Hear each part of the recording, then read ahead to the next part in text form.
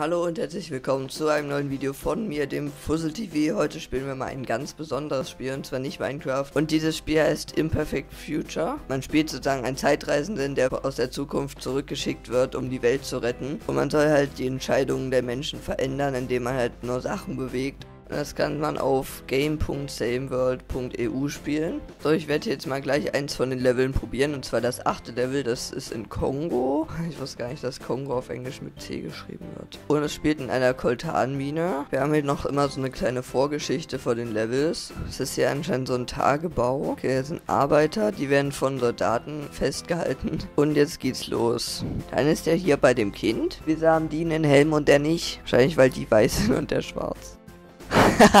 also, ich habe den gerade auf den Kopf gehauen. Und die wollen, glaube ich, hier irgendwie den Regenwald zerstören und die, ach hier eine Demo, können hier erstmal die Steine losrollen lassen. Können ja auch mit in die Palmen klingen. Alles klar. Ah, er ist wahrscheinlich die Chefin. Ah, ich hab's kaputt gemacht. Ich hab das Fahrzeug von der Chefin kaputt. Oh.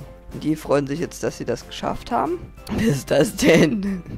Obi-Wan Kenobi. Ich hab's geschafft. Das war's dann auch mit dem Spiel. Ich fand das auf jeden Fall richtig lustig. Hier zumindest das zweite Level.